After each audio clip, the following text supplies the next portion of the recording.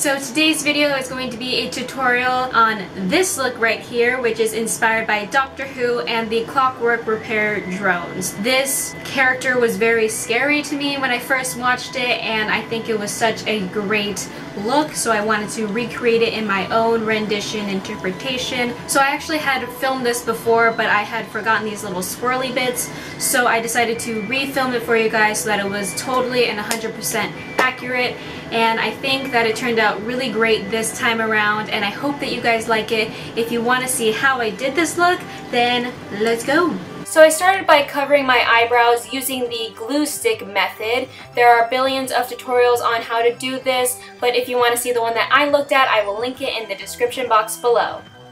Next, I took a light colored pencil and I started to sketch out my design. You really want to look at a reference photo during this part just because your look will be more accurate when you have a nice detailed reference photo. Again, I will link the one that I used down in the description box below.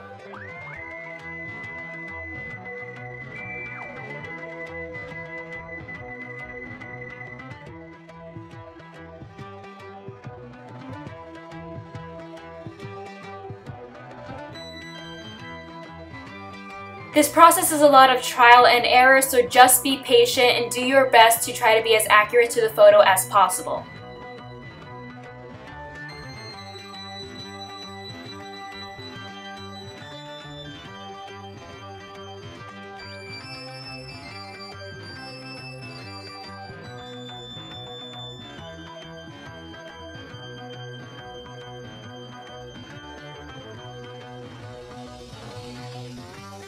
Now that everything is sketched in, we're going to move into the face paint. So I'm taking a white and applying it all over my face, aside from the eye areas and around the jaw. It doesn't matter how opaque this white is because these masks are very old. So actually, the less opaque it is, the more detailed it will be. Now that we're looking a bit like Grumpy Cat, we're going to take a white eyeshadow and set the body paint just so it doesn't move. Next, I took the yellow body paint and started going over the small gold details of the mask. I found that this was the best way to approach this because if you start with the red or the blue first, the colors have a higher risk of mixing together, so I recommend starting with the yellow.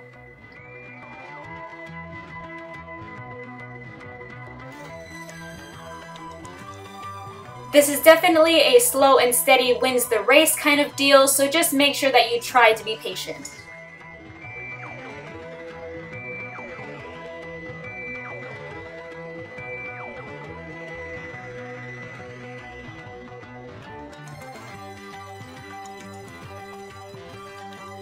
And once again, so that the color does not move, I'm taking a golden eyeshadow and setting that body paint.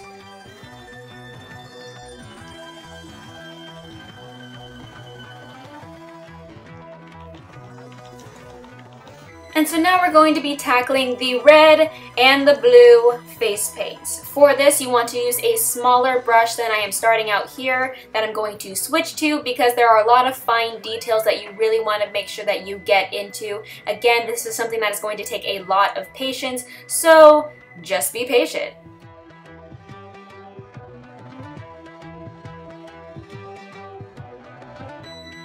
And here is where I so lovingly drop my eyeshadow palette. Accidentally, of course. Also, if you made some mistakes in the yellow paint, now would be the time that you can cover it up using these various colors, just because now that it is set, it will be able to be covered properly.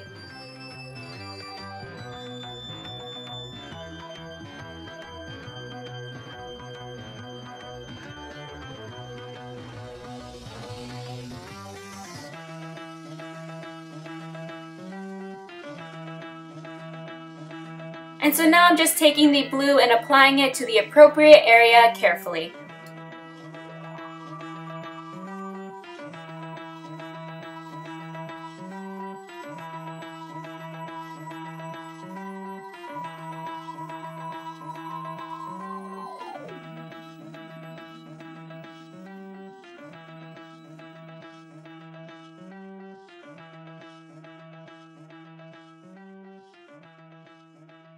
Now I'm taking a little bit of white body paint and applying it to the spaces in the upper loops.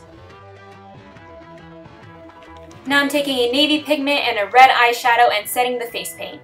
Now I forgot to turn on my camera when I started this, but basically I'm going to be taking a little bit of brown body paint and creating cracks all over the mask and blending them out with my fingers as I go. This mask is not solid white by any means. It's old and it's cracked, it's vintage looking, and that's what you want to replicate here. And so if any of the cracks end up being a little bit thicker or heavier than you imagined, then just blend them out. Don't worry about it, it'll add a lot of great character.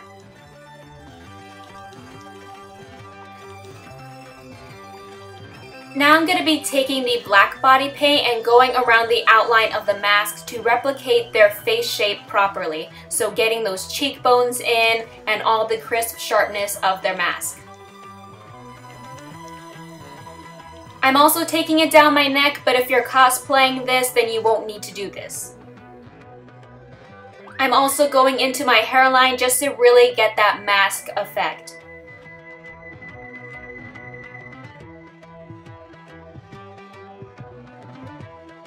And now comes the shading. So I'm going to be taking just a light little brown blush and I'm going to be going softly over certain edges of the mask. You really want to look at your reference photo during this time because they will have your highlights and your shadows and where they should be.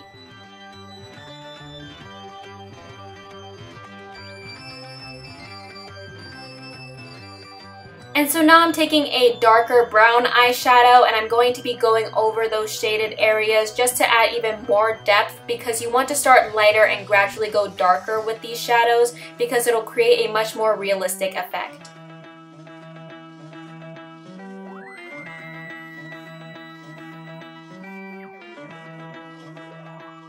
And no one really notices this part, but there is a little bit of a lip around the upper edge of the mask, so that's what I'm doing with this eyeshadow. I'm creating that little lip.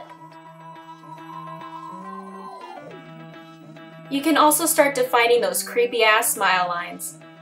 And so now I'm going to be picking up the black eyeshadow and really defining the deep parts of this mask. I'm also using these mainly for the colors because they show up a lot better than it would if it was just brown, but these are just only for the deep parts of the mask. You will notice these in the reference photo. Do not be too heavy-handed with black because too much black will ruin the entire mask, so just really be careful.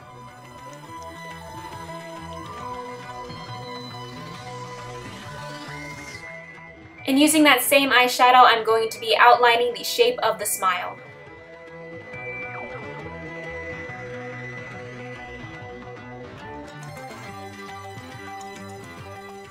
And here I'm taking that same shadow and really defining the nose contour. And so now we're going to be moving on to the eyes. So I'm taking this black eyeshadow pencil and applying it all over my lids, then spreading it out with a brush just to make sure that it is really crisp and clean.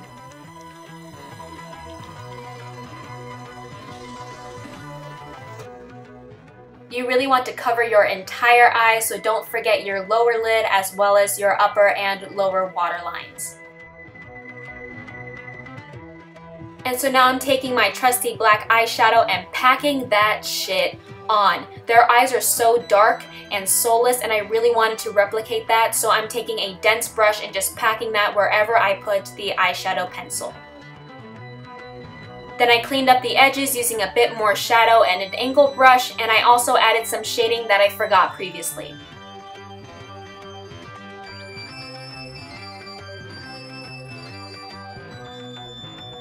Then I'm taking a bit of bronzer and applying this all over the mask just to add a bit more to the old effect.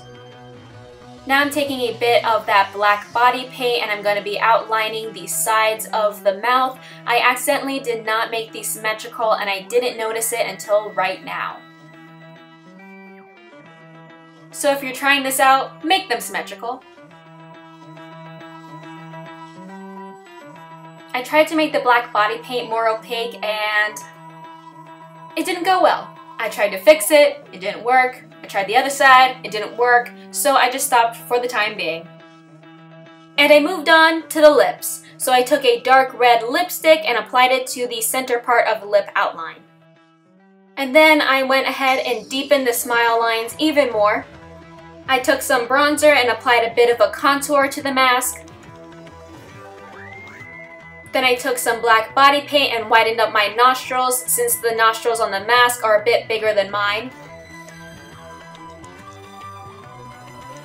Then I also defined these shadows around my nostrils. And I fixed the black face paint using the eyeshadow pencil from earlier, blending it out with my fingers and setting it with the black eyeshadow. I also took this down my neck. And so here is the final look. Thank you guys so much for watching. I love the way that this turned out and I hope you did too. If you liked this video, then please do give it a thumbs up. And if you want to see some more videos, then please hit subscribe. And until next time, bye-bye!